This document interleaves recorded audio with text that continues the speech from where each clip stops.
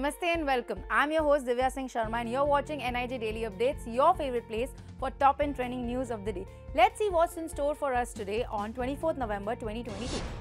The International Film Festival of India is in full swing as part of Azadi Ka Amrit Mahotsav. This year, the first video in the series on warriors of the 1857 War of Independence by MIB India in collaboration with Netflix India premiered at the IFFI 53 Goa. Amrit Kahani of Rani Lakshmibai, an awe inspiring story, is the first in the series by the Information and Broadcasting Ministry together with Netflix India. This series on glorious warriors of the 1857 War of Independence was launched at IFFI 53 under the Azadi Ki Amrit Kahaniyan and is narrated by Manoj Bajpayee. A contingent of Indian Special Forces is currently engaged in a bilateral joint training exercise with Indonesian Special Forces in Indonesia, aiming at enhancing military cooperation and interoperability between the two sides. Garuda Shakti, the eighth edition of the series of bilateral exercises under this banner, is being held at Sangha Buana Training Area, Karawang.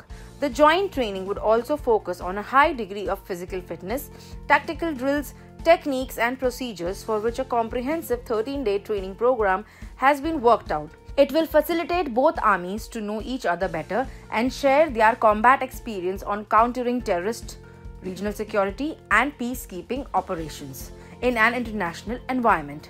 This is yet another significant milestone in ensuring cordial relations between the two countries, another step forward towards ensuring regional security, further strengthening Indian Army.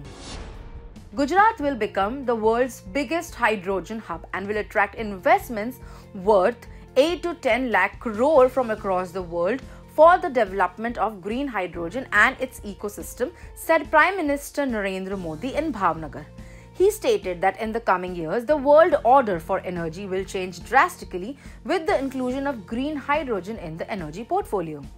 He said, and I quote, Just look at the scale of my dreams. The world's biggest green hydrogen hub will come up along the coast of Gujarat. Green hydrogen will be produced in a big way. The entire ecosystem of green hydrogen will be developed here, said PM Modi at a massive rally his last for the day after holding similar poll rallies in Mehsana, Dahod, and Vadodara districts. He also announced that Vedanta Foxconn's proposed semiconductor plant would come up in Dholera.